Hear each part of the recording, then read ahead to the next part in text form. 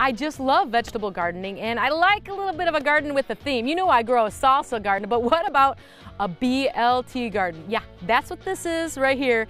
I have some beautiful little lettuce you can see here. Perfect timing for us to do a little bit of harvesting. And I take my nippers, or you can use your scissors, or you can just break them off by with your hand.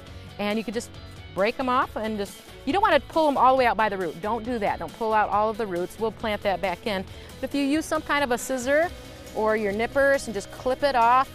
And that's just some fresh greens right from your garden. Those will go on the sandwich itself. And now let's check out our tomatoes. Now we planted these in late March and you can see we have some beautiful green tomatoes coming on already a nice size. Look at that.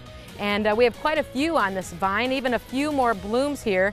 And you can see these yellow little flowers. Those are the blooms of those tomatoes. So you want to make sure that when you have your tomatoes growing, you want to put a stake in the middle of that plant.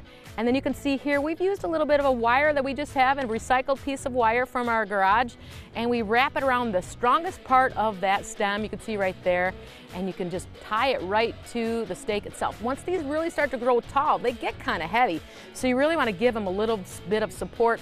Another thing I like to do, this little cluster right here, it's almost too many tomatoes there right now. I'm gonna take off a few of these little babies. Shh, don't tell my dad.